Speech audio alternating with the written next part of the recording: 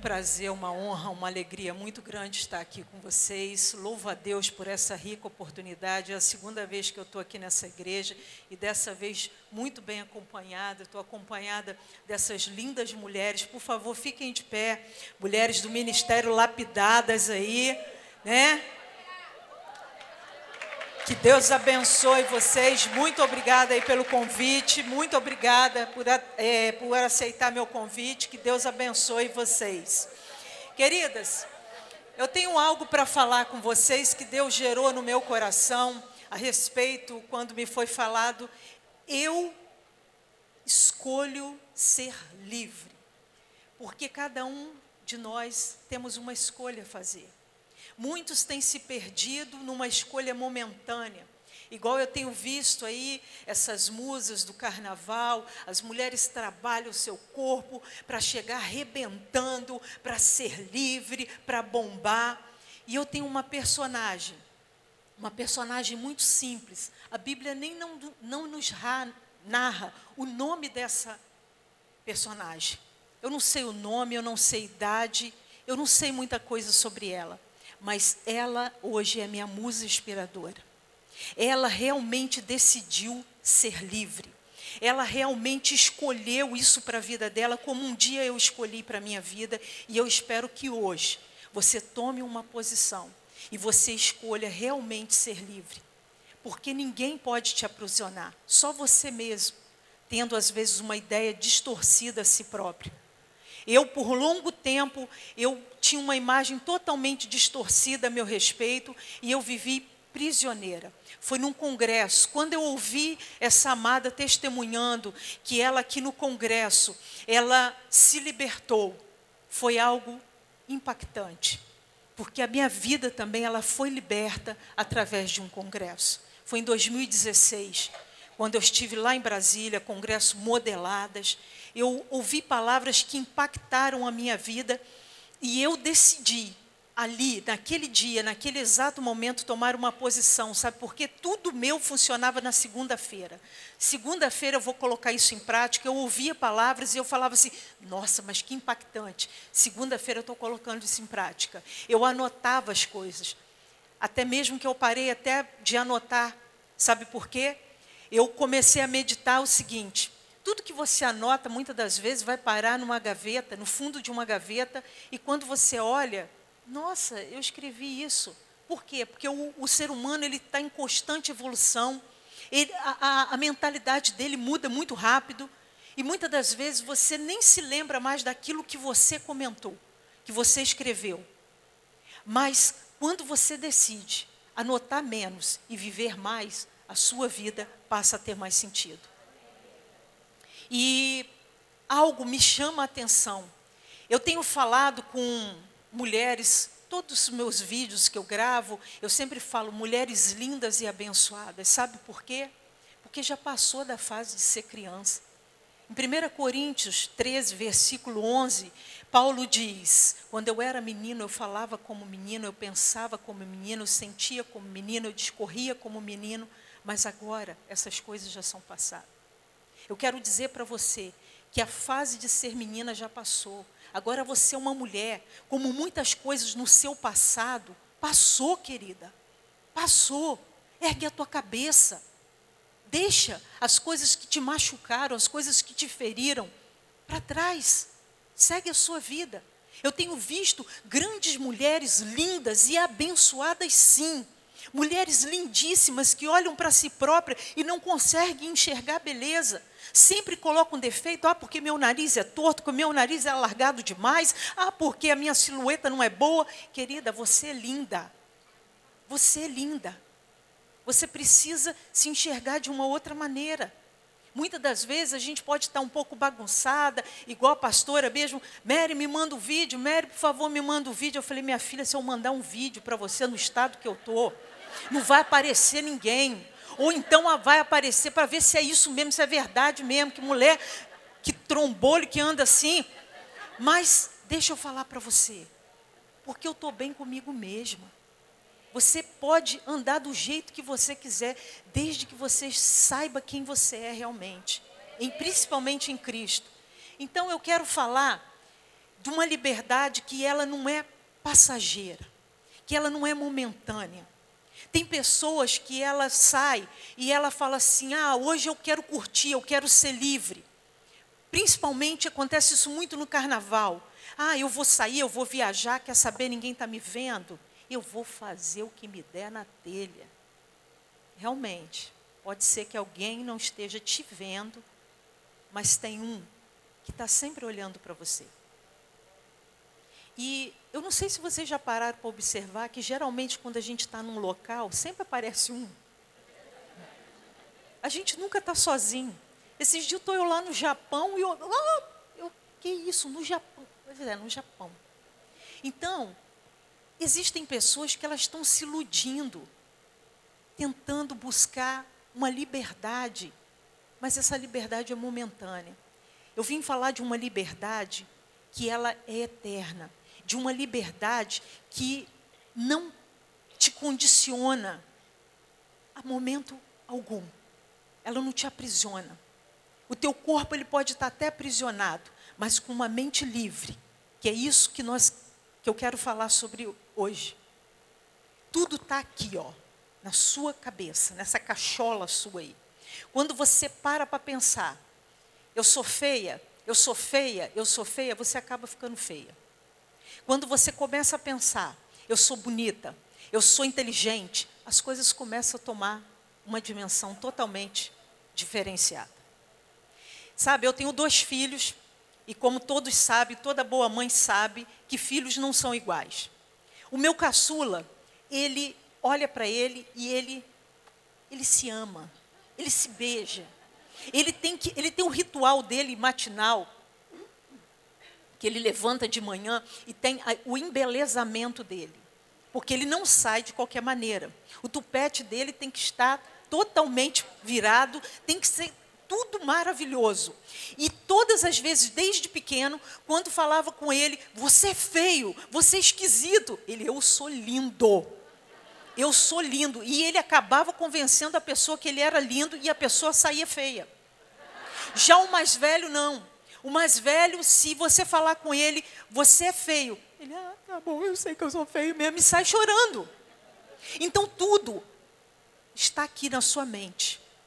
É isso que o adversário ele tem trabalhado na vida de muitas pessoas hoje.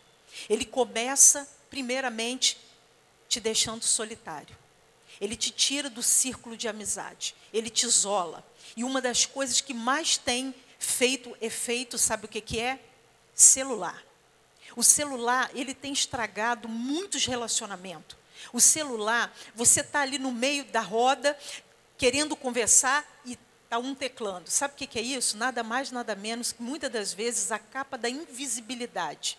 Aquilo que você não tem coragem de chegar e falar no cara a cara, aquilo que você não tem coragem de se apresentar para muitas pessoas, o celular, ele te dá aquela capa, ele te protege.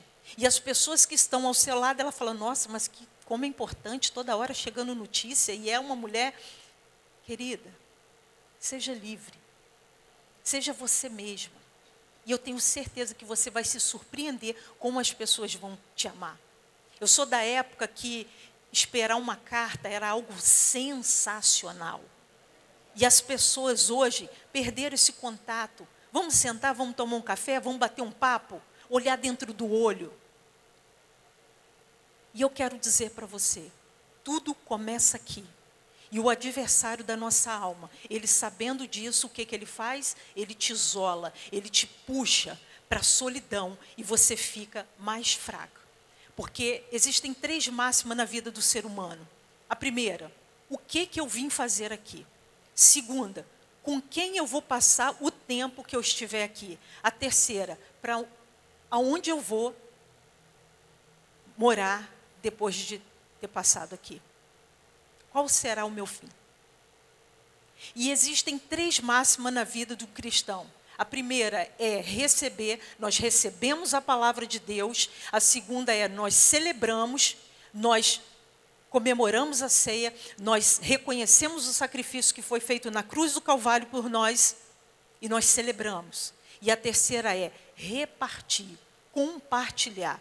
Porque tudo aquilo que você recebeu, que você celebrou, se você não compartilhar, vira dentro de você um mar morto. E você não evolui. Então nós precisamos de toda a palavra que nós recebemos, de toda a palavra que nós lemos, nós precisamos de compartilhar. E isso vai nos tornar um ser humano cada vez melhor, vai nos fazer entender mais a palavra de Deus. E eu quero falar com você, se você tiver Bíblia, abra sua Bíblia. Que eu quero falar de uma pessoa para mim extraordinária. Eu não sei se essa personagem um dia ela sonhou em ser alguém famoso se ela um dia sonhou estar nas mídias sociais, se ela um dia sonhou em algo extraordinário. Eu sei que a vida não foi fácil para ela, como a vida não foi fácil para mim e como a vida com certeza não deve ser fácil para você. Mas ela venceu. E se ela venceu, qualquer uma de nós estamos aptas a vencer. Amém? Abra sua Bíblia. Segunda Reis, capítulo 5.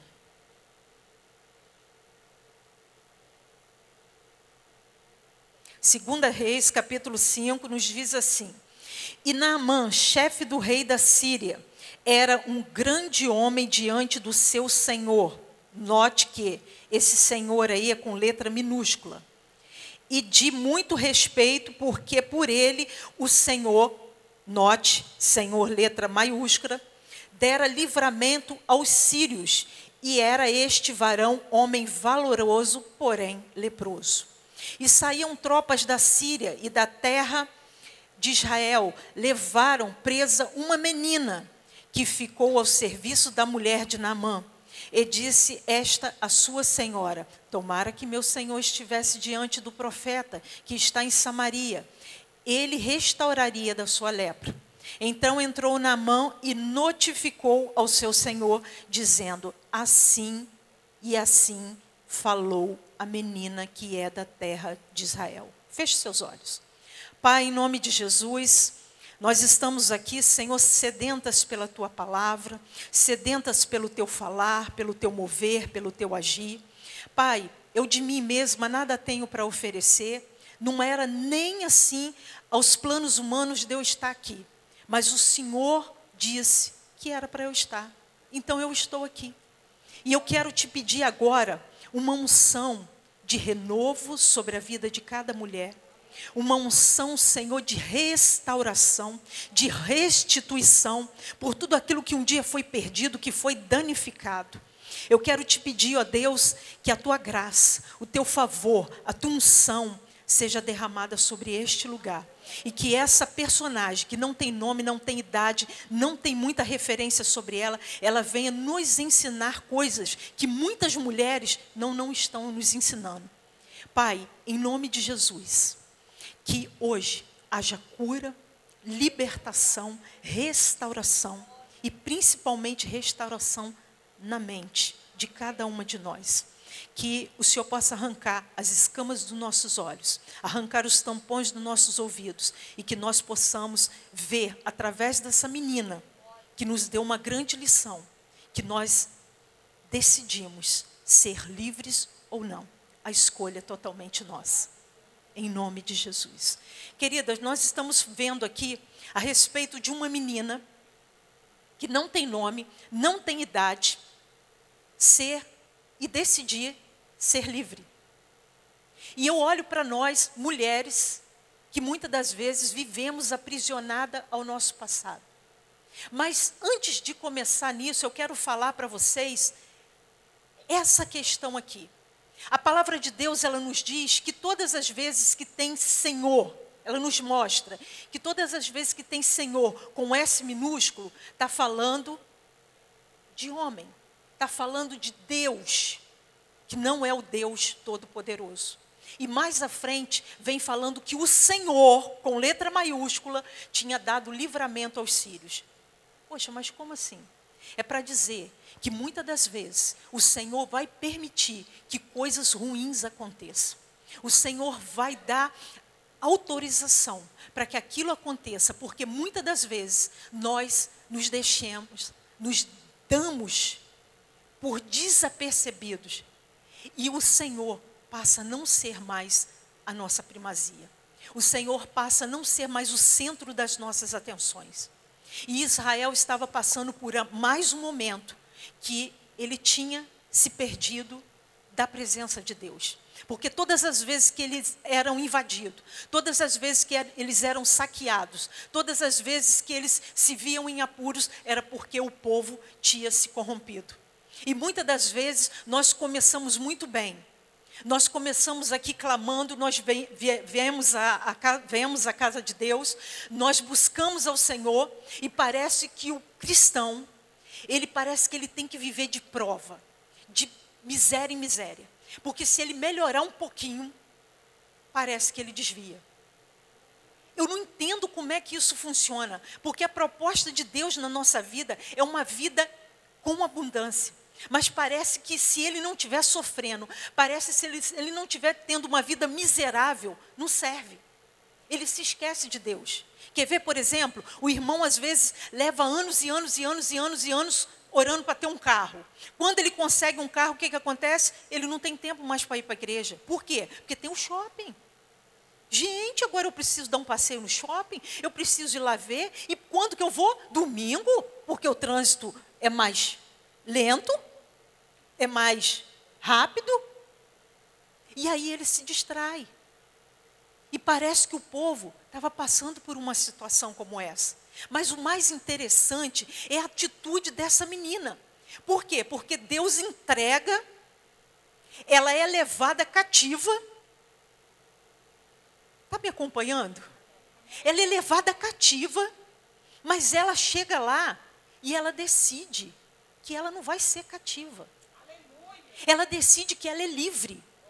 Ela decide que, mesmo sobre o jugo de uma escravidão, ela, comigo não. Como diria meu filho caçula, aqui não, cão. Eu, cativa, eu, escrava, minha mente é livre. O corpo dela era escravo, mas a mente dela não era escrava, não. Agora, sabe uma coisa que eu preciso lembrar a cada uma de nós, que muitas das vezes nós lemos a Bíblia e a gente não para para pensar? É que naquela época, não era como hoje, não. Que mulher fala o que quer. Você imagina, numa época que mulher não era nem contada. Mulher não tinha voz. Mulher não podia ficar tendo acesso a ensinamento. Mulher era feita para quê? Mulher era gerada para quê? Para gerar. Mulher era gerada para servir. Mas essa menina, ela fez a total diferença. E nós, como mulheres hoje, qual é a diferença que nós temos feito? Essa menina, ela tinha tudo para ser traumatizada. E eu gostaria de estar lembrando vocês aqui que quando essa menina chega ali na casa de Namã, não era como as auxiliares de lá, hoje não. As nossas secretárias ou domésticas, seja lá como você queira chamar, que muitas das vezes ela pega uma intimidade tão grande com a gente que a gente está numa mesa almoçando e ela vai entrar no assunto também. Lá não poderia falar. Ainda mais por, por ser mulher, e ela nem mulher era, ela era uma menina. Mas aquela menina, ela chega naquele lugar para fazer total diferença. E ela chega não para ser influenciada, mas ela chega para ser uma influenciadora. E eu te pergunto, mulher, o que, que você tem sido, por onde você passa? Você tem sido influenciada ou você tem sido uma influenciadora? Como é que tem sido sua postura, primeiramente dentro de casa? Você tem influenciado ou você tem sido influenciada pelas circunstâncias, por tudo que você tem passado? Aquela menina, eu não sei quem era o pai dela. Eu não sei quem era a mãe dela. Eu não sei como é que ela chegou a ser cativa. Mas uma coisa é certa: ela tinha tudo para odiar Namã. Ela tinha tudo para ir revoltada.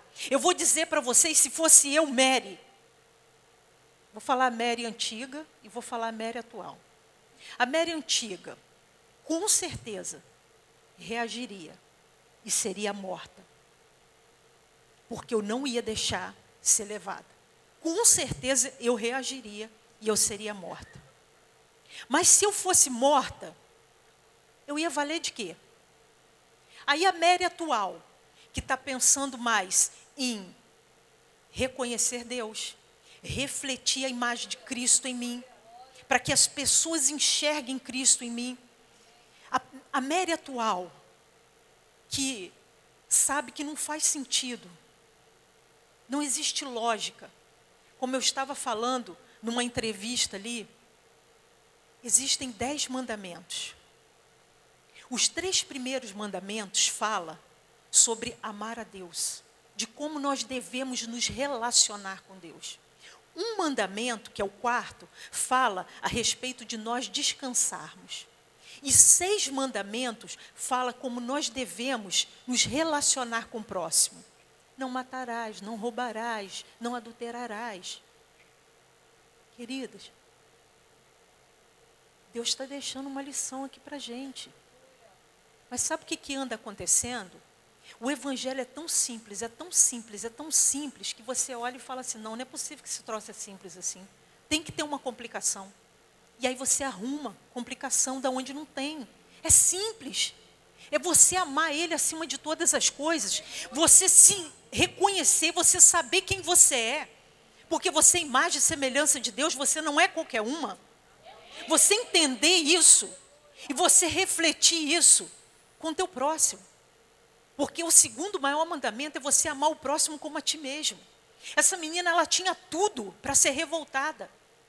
A segunda Mary, a Mary, a Mary numa versão atual, ela iria, não iria reagir, ela iria falar assim: bom, se o senhor está deixando isso acontecer, é porque tem algum propósito.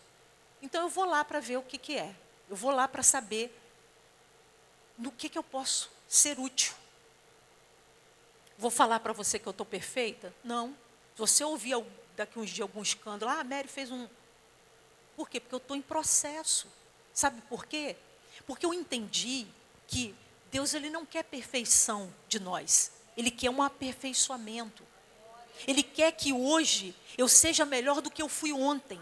E que amanhã eu seja melhor do que eu fui hoje. E assim eu vou atingindo degrau por degrau. Sabe qual é o que tem pirado na cabeça das pessoas é você querer ser tudo de uma vezada só. Minha filha, tu não vai aguentar. Vai devagarzinho, todo dia um pouquinho. Se você falava num tom mais elevado, que de tom elevado eu, eu sou expert. Aí você começa a baixar o tom. Se você respondia mais áspero, começa a ir baixando, abaixando, abaixando, até você atingir um nível como eu estou hoje que eu ando dentro de casa e eu fico olhando assim, vai falar nada não? Não. Chega assim, porque eu cheguei e não tinha, ó, eu era indomável, indomável, até o dia que eu decidi ser livre. Que eu falei, isso não vai me tornar cativa.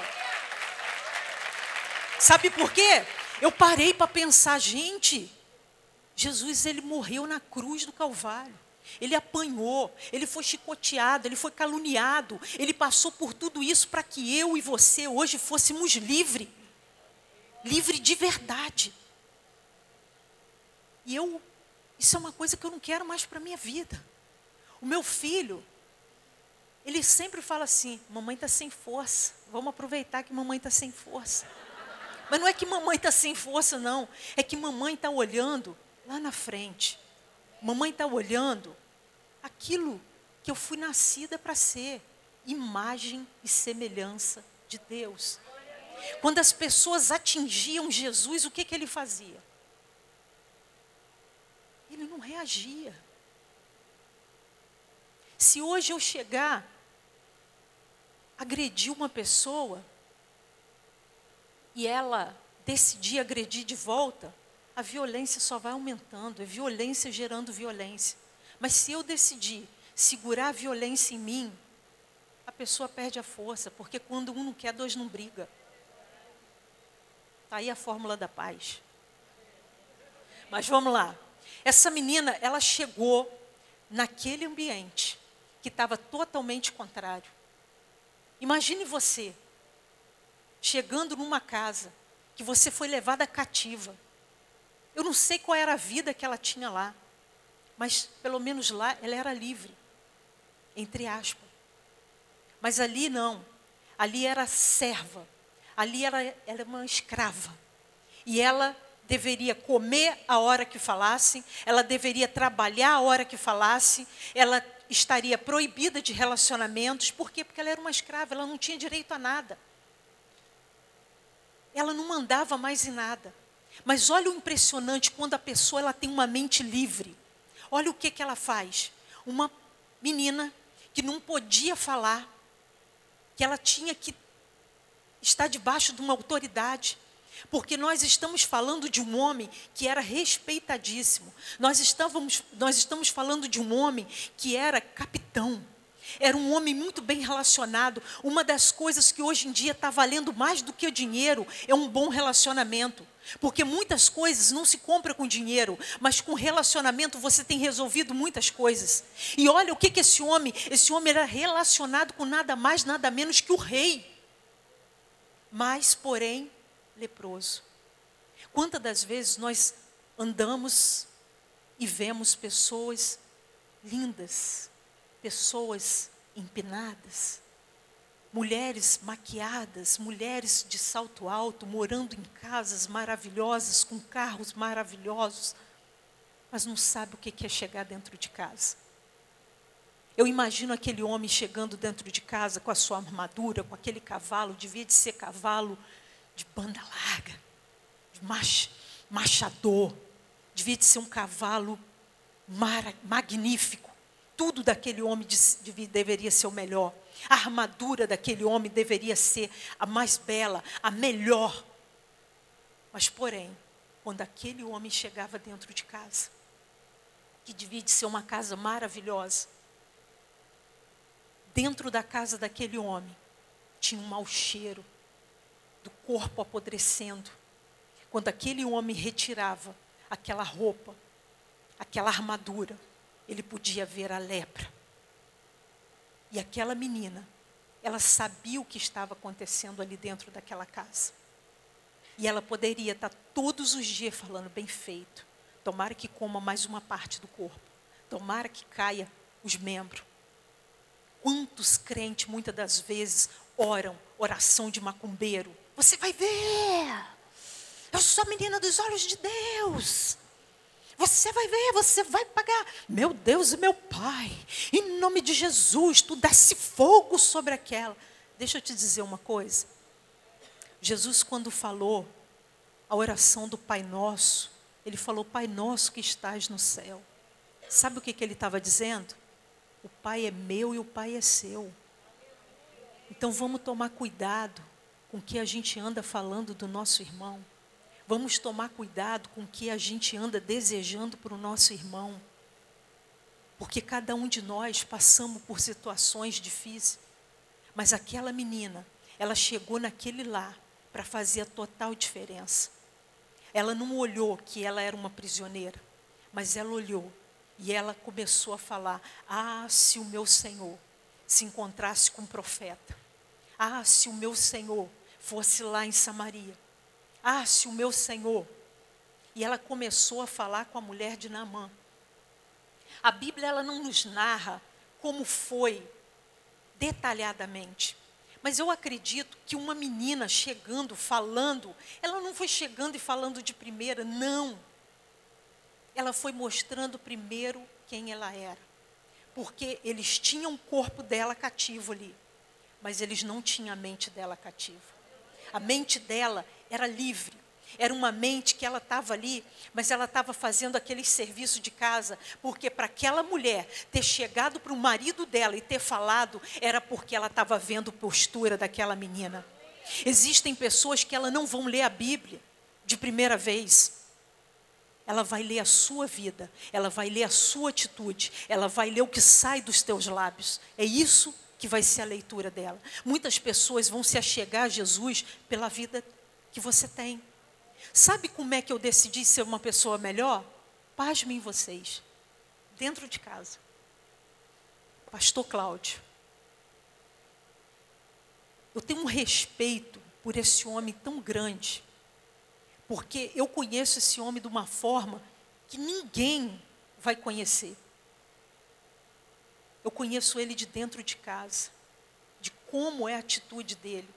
Eu gosto de falar o quanto o nosso relacionamento foi feito de reciprocidade. Sabe por quê? Porque quando ele não era ninguém, quando ele não era conhecido, quando ninguém apostava nele, ele era o azarão do bairro. Todas as mães falavam assim: qualquer um, menos o Claudinho, porque ele não presta, ele não vai dar em nada. Sabe por quê?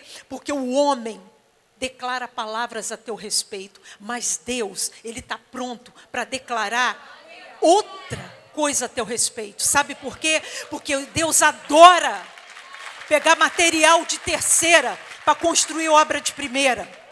Então você não está debaixo do governo de homem, você não está debaixo de palavra de homem, você está debaixo da palavra do Senhor, dos exércitos, aquele que te formou, aquele que te gerou, aquele que te deu vida, aquele que soprou sobre as suas narinas. É nesse que você tem que focar o teu olhar. E quando todo mundo falava assim, ele não, eu bati o olho e falei, é ele. E gosto de tirar onda com ele. Fala, tu tem que me respeitar, é muito. Sabe por quê? Porque eu tenho visão de águia, meu irmão. Eu enxergo além. Eu vou além. Eu vou além do Rio Azul. Eu tenho visão. E sabe o que, que ele fala? Porque eu sempre perco. Você tem visão que nada. Tu atirou no que viu e acertou no que não viu. Tu teve foi sorte nessa vida.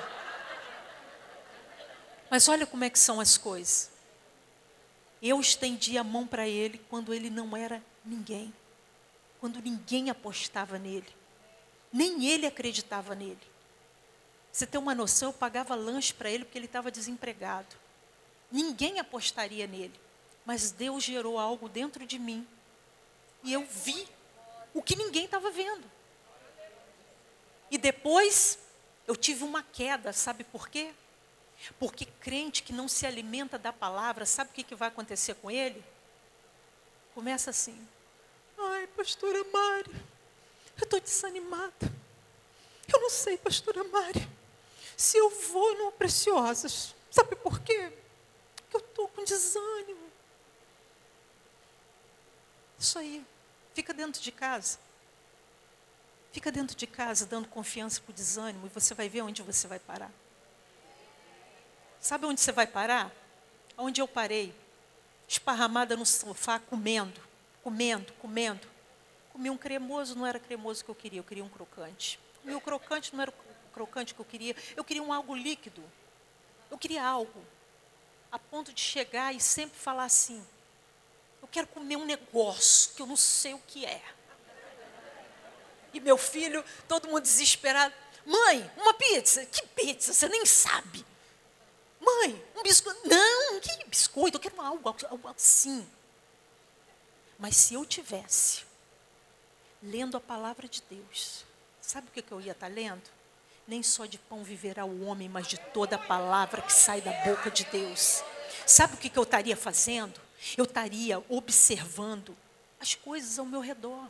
Sabe por quê, querido? Nada acontece do nada. Eu ouvi o testemunho aqui. Você acha que aconteceu assim? Tipo, oi, eu vi, gostei e vou. Não. Começa, oi, nossa, você está bonita hoje. Você também, você está diferente. Que perfume é esse? Começa assim.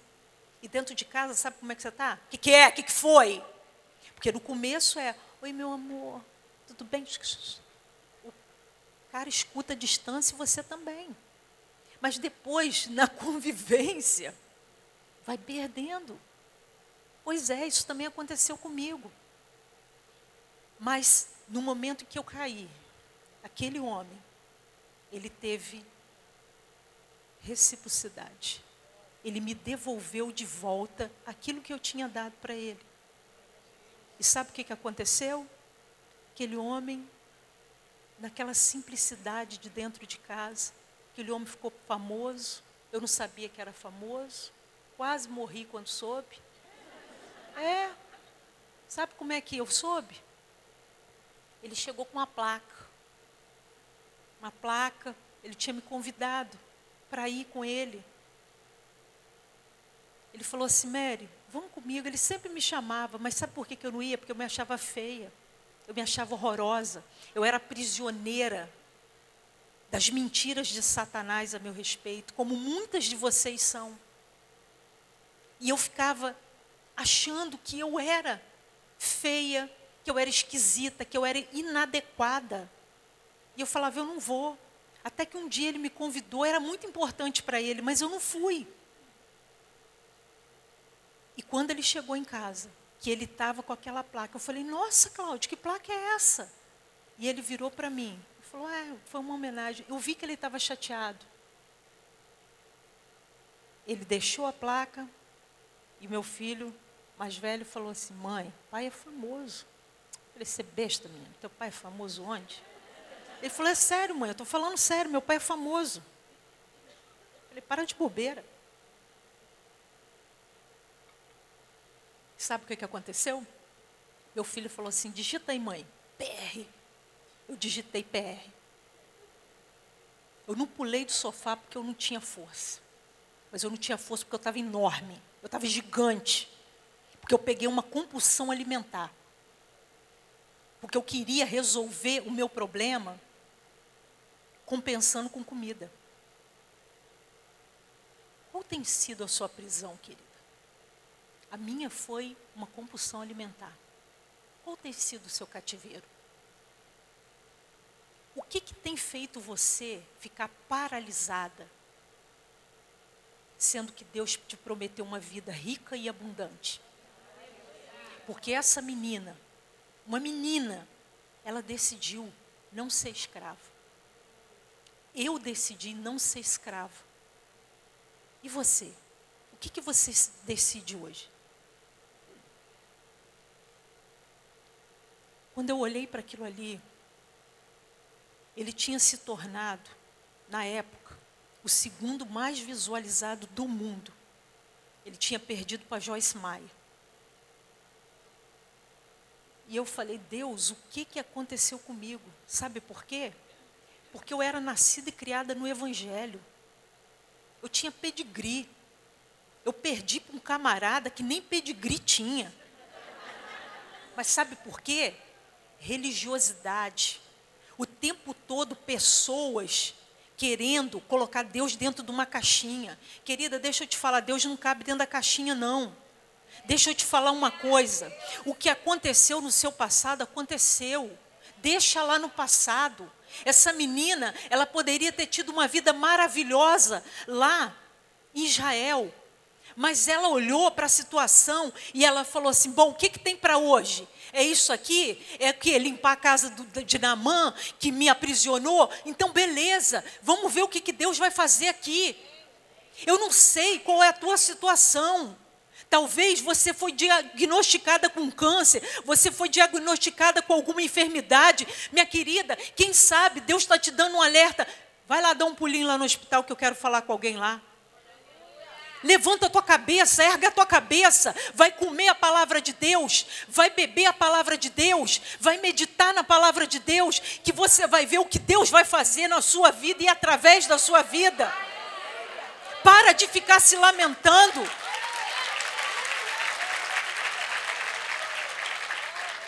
Toma uma atitude. Levanta, erga a tua cabeça. Foi o que eu fiz.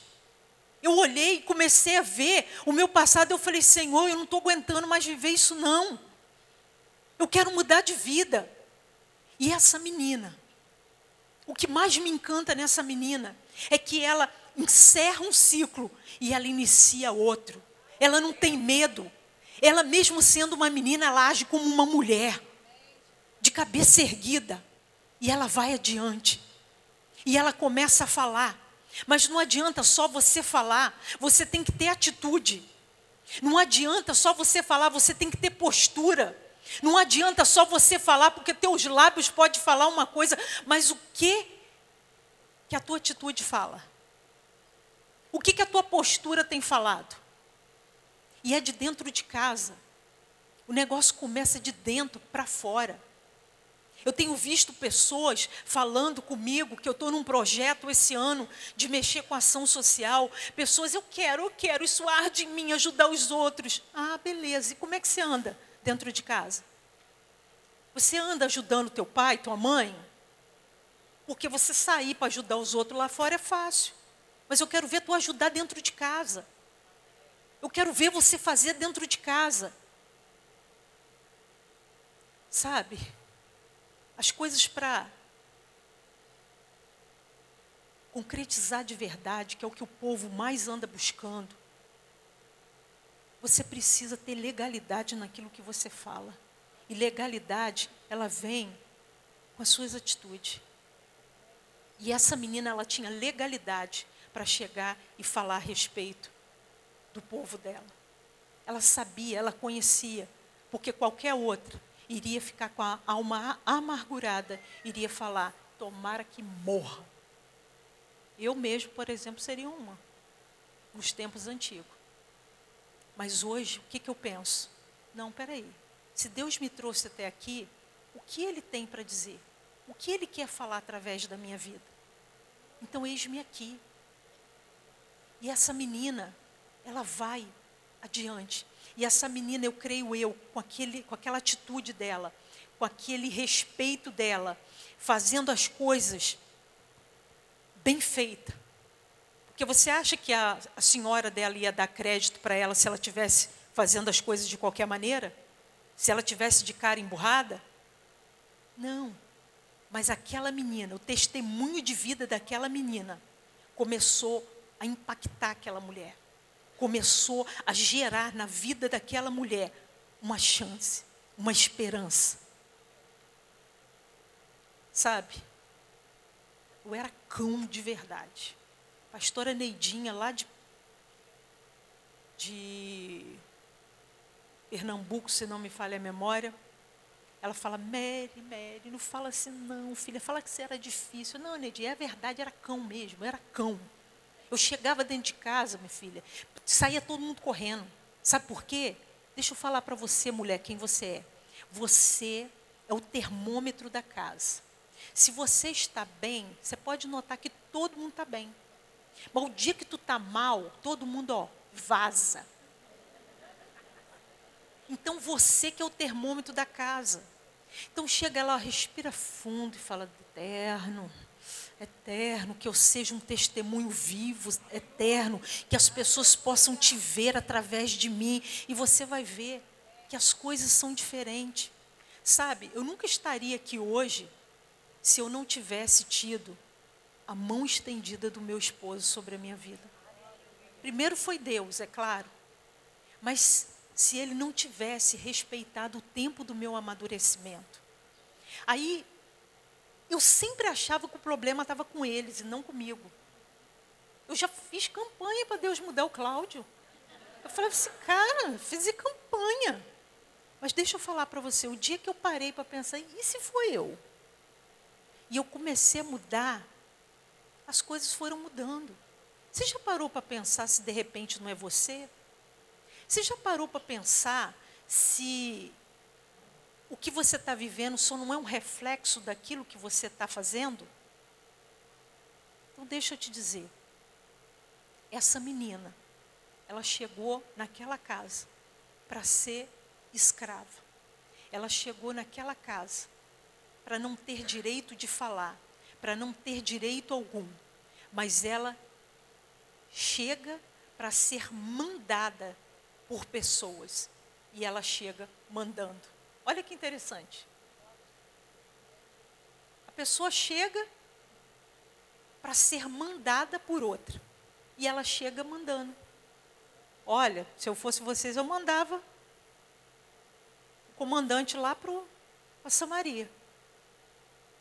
Então decida hoje quem você quer ser. Eu tenho observado que existem dois tipos de pessoas no Evangelho.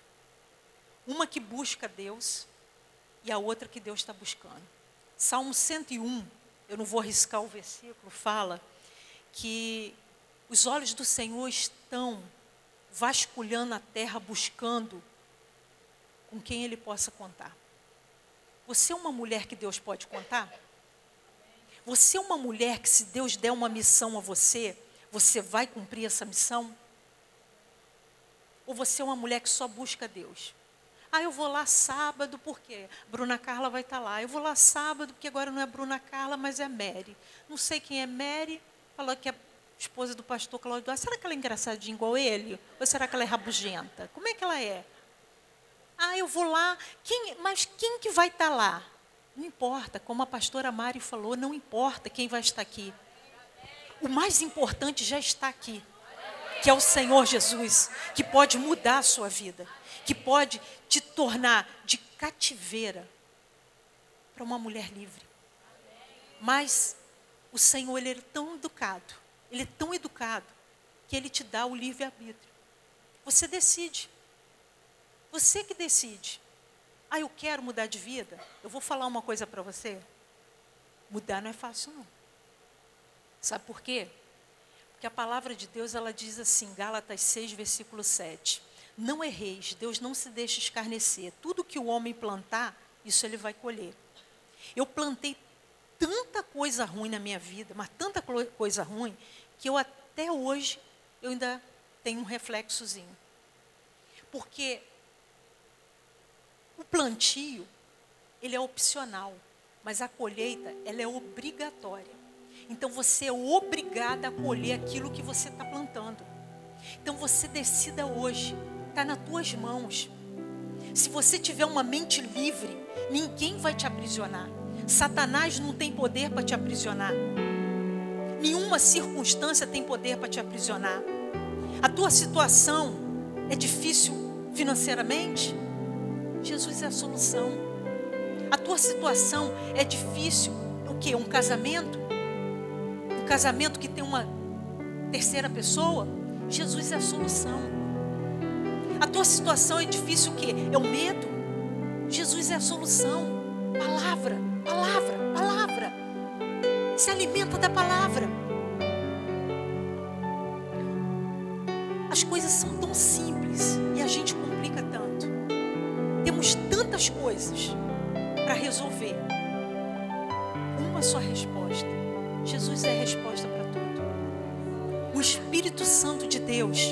Que passeia aqui em nosso meio, ele é a resposta para tudo que você precisa.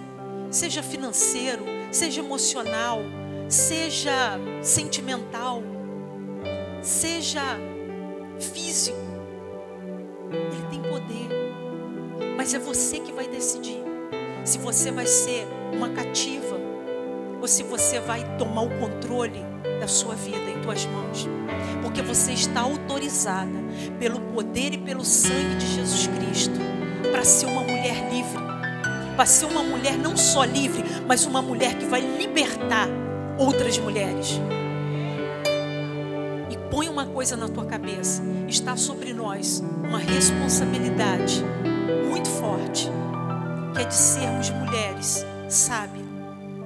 Mas o mundo tem nos mostrado que precisa de mulheres fortes. Só que a Bíblia ela não menciona mulher forte, ela menciona mulher sábia.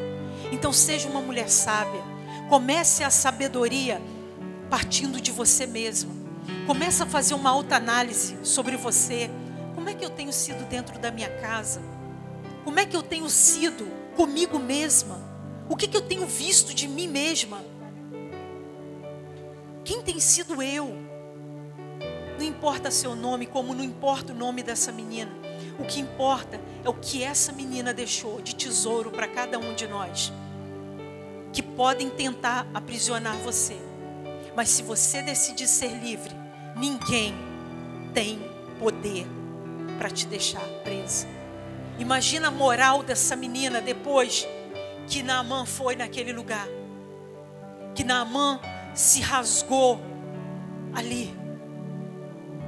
Naamã reconheceu. Sabe por quê? Porque aquele que confessa alcança misericórdia. Ele poderia ter continuado naquela posição. Não, não vai acontecer. Não, é impossível, é lepra. Mas não. Sobre a palavra daquela menina, ele foi e aquela menina que chegou ali para servir, aquela menina que chegou ali para ser mandada, aquela menina que não tinha família, não tinha nada, não tinha direito nenhum. Aquela menina mudou a história daquele, daquela família. Aquela menina deu uma direção para aquela família. Aquela mulher, ela poderia ter sido omissa, ela poderia não ter se posicionado e ter falado, ah, deixa morrer, mas ela sabia que se desse ruim para o marido dela, ia dar ruim para ela também. Então você faz parte de um corpo que começa dentro da sua casa. Se der ruim para qualquer membro da sua família, você vai pagar o preço junto com ele. Você está responsável por levar a palavra, por mostrar esse evangelho que é tão simples, tão puro, tão verdadeiro e que muda as nossas vidas. Você é responsável por isso. Toma a tua posição e comece de você hoje. Tome um posicionamento hoje e seja livre, porque aquela menina, ela decidiu que ninguém ia aprisionar ela. Então decida que ninguém pode aprisionar você. Você pode aquilo que você quiser fazer. Sabe por quê? Porque o Espírito Santo de Deus ele está aqui e ele quer, ele quer cuidar de você. Seja qual for o seu problema, fique de pé. Eu quero orar por você.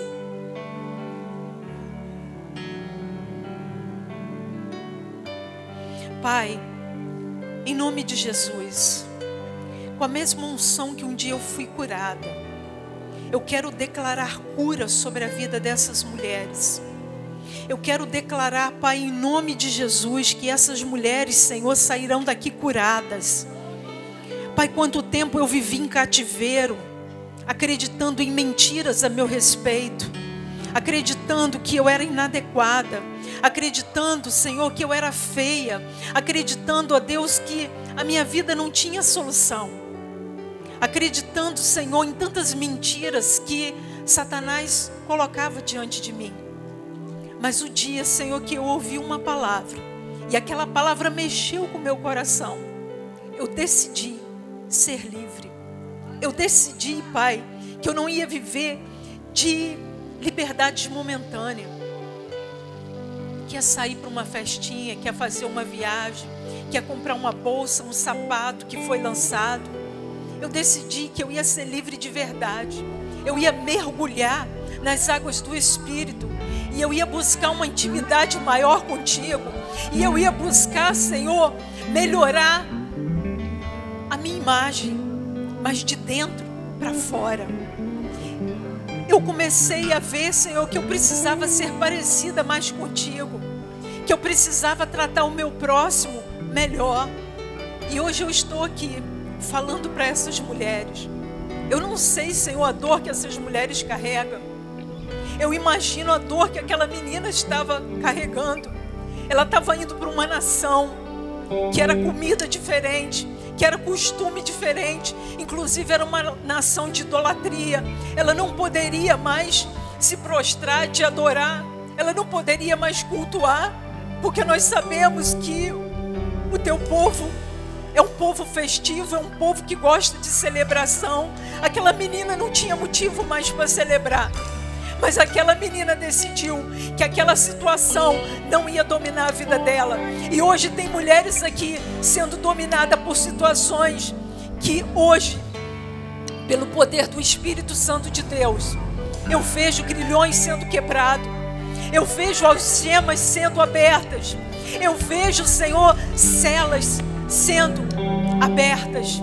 E agora cabe a cada uma delas, Senhor, decidir se ela vai sair dessa cela ou não.